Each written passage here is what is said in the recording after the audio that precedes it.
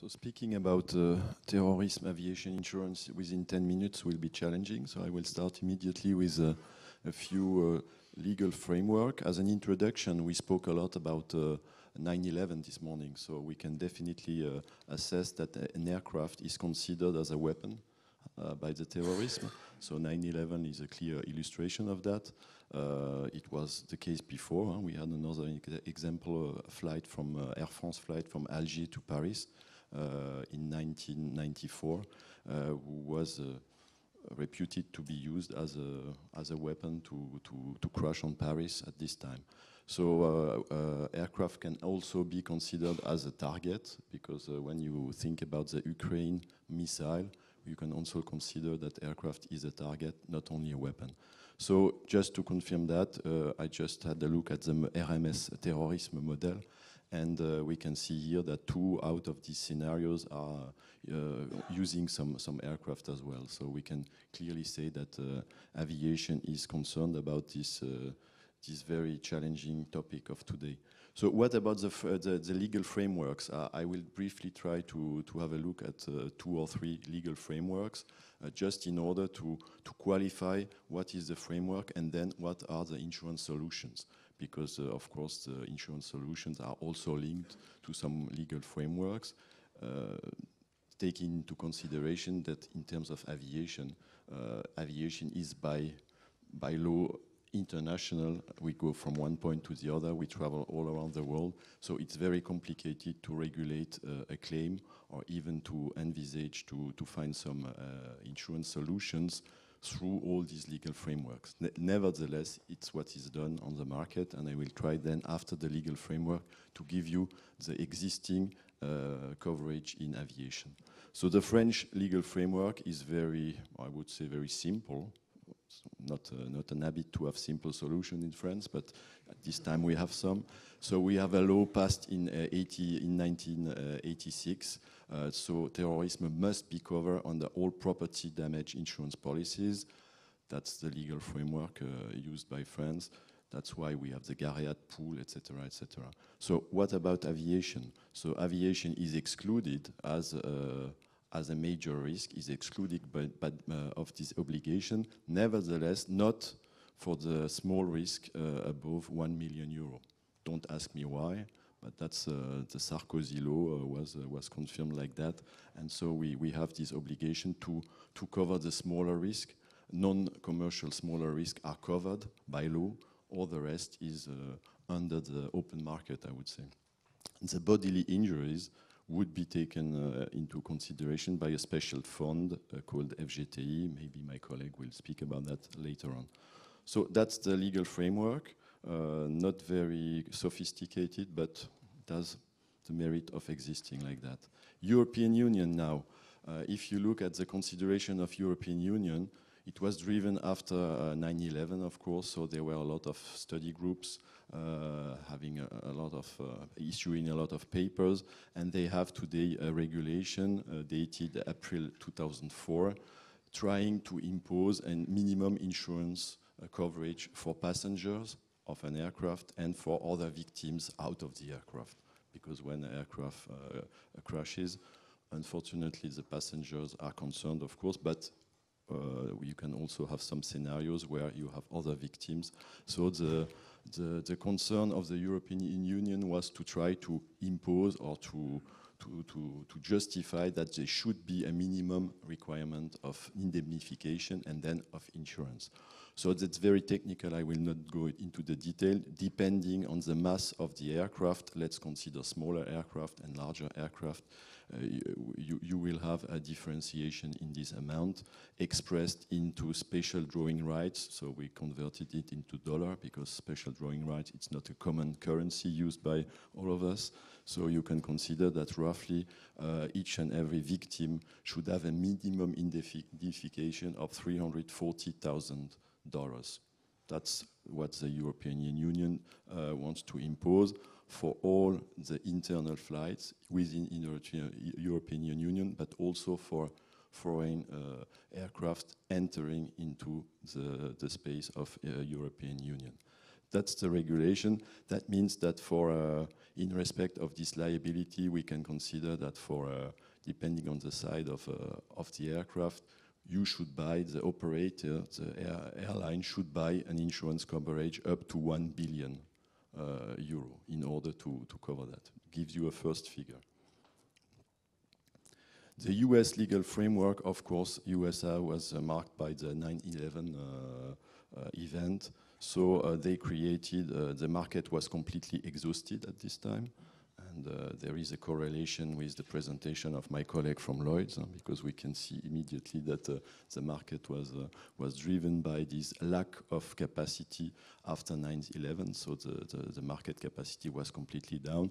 And the government uh, of United States decided to, to issue what they call the Terrorism Risk Insurance Act, TRIA. This TRIA gives the possibility to reconstitute to uh, rebuild an insurance market by very, very slow, small capacities. You can see it here. So this TRIA was renewed uh, from 9-11 2001 till now, and it was extended in 2015 for six years. So it will, uh, it will stop at the end of 2020. But you can see that we, we still have this, uh, this uh, method and this, uh, this system in force in United States, and uh, this, this organization is able today to, to substitute to the open market, but with very limited amount, between 100 million uh, uh, dollars in 2015. It should go. It should go up to 200 million dollars by the end of to, uh, 2020. You, you, can see the, the very limited coverage that is provided by this method. And uh, so the open market, of course, is very active, and uh, our Lloyd's colleagues are providing a, a, big part of this open market. Not only, but they provide a big part of this open market. Considering the international legal framework, I will not go into deep details because it's very similar to the European one. I don't know who copied on who, but the ICAO uh, organization, International Civil Aviation Organization, was asked after 9-11 to uh, have a working group and to try to to revisit the Rome Convention and the Montreal Convention uh, that are dedicated to uh, international conventions in, ca in case of, of crash of aircraft. And uh, so they adapted the situation and they more or less uh, tried to, to, to impose what was taken over by, by the European Union, meaning an obligation of having a minimum indemnity uh, conducting to a market up to 1 billion US dollar for the, for the air, airlines. So buying a 1 billion uh, uh, insurance policy minimum. And the rest of the coverage should be granted through a special fund, very similar to the pollution fund uh, FIPOL, uh, maybe you know this fund uh, that was dedicated after some tankers uh, losses. And this FIPOL is going up to $3 billion. So, so the solution was to copy what was done for, for, for pollution to the aviation market. Uh, this, were, this uh, convention was never ratified, so don't lose a lot of time about that. So it was, uh, it's a good proposal, but never ratified, because so far it is, the open market is able to provide some solutions. So what about these solutions? Uh, these solutions are, I would say, a little bit complex concerning either the aircraft or the passenger or the third parties. So we have different scheme of coverages uh, depending on what is uh, damaged in a certain way. So as a basic, you can consider that uh, terrorism and war risk is excluded from all the traditional insurance coverage. Uh, but there is a buyback and a write back of all these uh, warranties through some uh, very specific AVN, what we call the aviation clause. AVN clause are dedicated to write back all these coverages with the exception of the nuclear.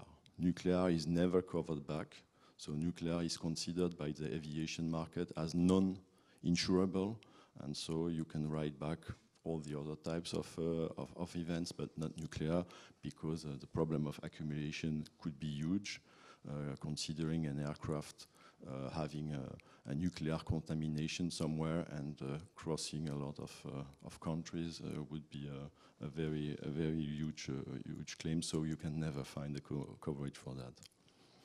Except of that, you can uh, cover the hull, so the aircraft as such. This coverage is, uh, is granted most often by the London market, not only by the London market, and so uh, you, can, uh, you can cover that with the exception of the nu nuclear and dirty bombs. And there is also a sort of a sharing between the traditional market and the war market in the case when we do not know the, the origin of the, of the claim. And this is not a theoretical example. We have a lot of examples of that. The Malaysian, the disappeared Malaysian aircraft MH307 is only uh, 70 is under this uh, clause because uh, so far there is a sharing between the war market and the, and the open market just because we do not know what happened exactly. So the, the, the, aircraft was paid by the insurance market, but 50% by the war, war, market and 50% by the, the open market.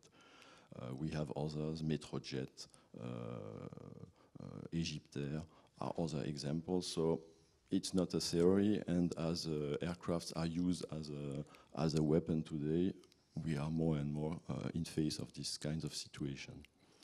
In terms of liability, in terms of liability, we cover, of course, all the passengers, the luggage, and the, the cargo embedded in the, in, the, in the aircraft that would be covered up to limits up to 2 billion. 2 billion of euro is what we can easily uh, find on the open market as a co traditional coverage.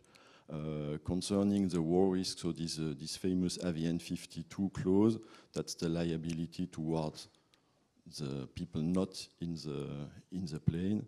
Uh, so in, ca in case of a World Trade Center, for example, the market also through a first line of 500 million and a second line in excess would also give a capacity of 2 billion. So that's the level of coverage that you can easily find on the on the market today. Of course, there are some risks for the operator, for the airlines, and for the passengers. We are all passengers. This, uh, this uh, coverage can be cancelled within between 48 and 7 days in case of, uh, of an issue somewhere in the world. The policies, the war policies are, it's possible to cancel them. And there is even an automatic termination clause in case of an outbreak of a, of a war between the five uh, major countries uh, mentioned here. Okay, that's not the topic of today, but nevertheless, it's just to, to give you the sensibility of this risk. You are covered, but if there is a major event, the day after, all the coverage worldwide could fall immediately from one day to the other. Concerning airport manufacturer service provider, the same scheme of coverage will, uh, will, will be applied. The limits are a little bit lower because the accumulation risk is considered to be to be smaller. But no, more or less, you can find the capacity in war and so in terrorism up to 1.5 billion US dollar on the on the war risk market. So that's it for the coverages. And I, I tried to, with my friends of uh, yes, I, I've the, the last one. so the scenario of Roissy Charles de Gaulle, we just uh, try to to consider if tomorrow they there is a claim in Roissy Charles de Gaulle, how will it work? Because of course aviation will be uh, will be concerned, but also property, uh, casualty, etc., etc. So you can see here that it will not be easy. So the lawyers will have a lot of work, and they will be happy for a few years to to regulate this kind of claims. But the properties will be uh, indemnified through the GAREAT mechanism with the, the, French state in case of uh, overpassing 2.5 billion approximately euro. Uh, no public coverage for aircraft, and the accumulation in Roissy Charles de Gaulle is huge. Uh, the value of an aircraft is 100 million dollars, so you can easily see that 10, 10 aircraft it's 1 billion, etc., etc. And the passenger will be protected through this fund. So the message here would be that we have an open market up to 2 billion, more or less two, between 2 and 3 billion. And one of the gap I identified personally on my market, and if you take this scenario, the first gap is the lack of coverage in excess of this 3 billion, because we have some coverages granted through pooled organization, but not in only line of business, in all lines of business. So I think we should also think about a solution above uh, the existing market capacities that are fragile because, uh, as I mentioned, within one or two days we can cancel everything. Thank you very much. Thank you, Christophe.